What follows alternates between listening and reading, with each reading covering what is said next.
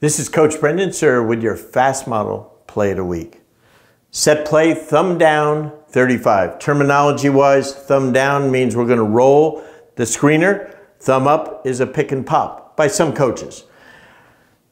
So on thumb down, what we do is have five go right in the lane and screen for three, who's coming up to set a middle pick and roll.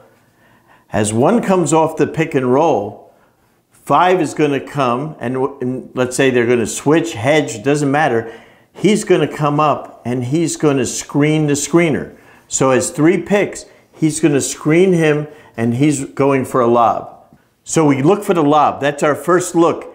And again, you might have a switch, you might have a hedge, the lob, and if both players go to him, then you have five wide open. He keeps his dribble. He can come and come off a rescreen. So a lot of action, all in the middle of the court. Thumb down 35. Teach your players to work with that. Thumb down 35, your FastModel play it a week.